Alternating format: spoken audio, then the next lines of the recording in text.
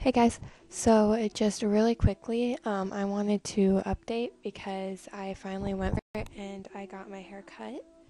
Um, you can't see it right now because I'm wearing my vest, but here it's like really short in the back and it kind of like it's um, longer on one side and uh, yeah, and I actually really like it and think Shelby did an amazing job with it.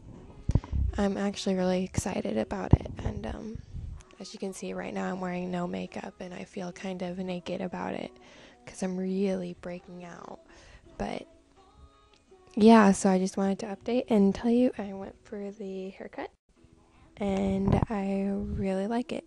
Take a look at the back, it's like all like it's all like uh short yeah, and I'm pretty excited about it. So, um, yeah, that's it. Okay, bye. Meow.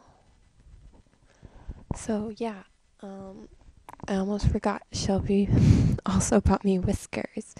Don't worry, it's not a real septum ring. I don't think I will ever be getting it because obviously it looks kind of, you can't see it.